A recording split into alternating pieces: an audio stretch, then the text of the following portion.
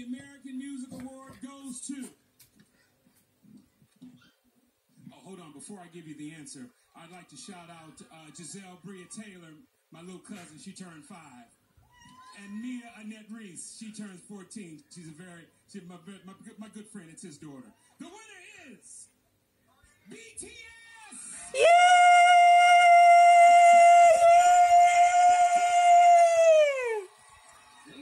You, Army and uh, the AMAs, for this great honor.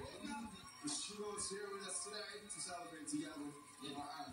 And we're sorry we can't be there in person to receive this award.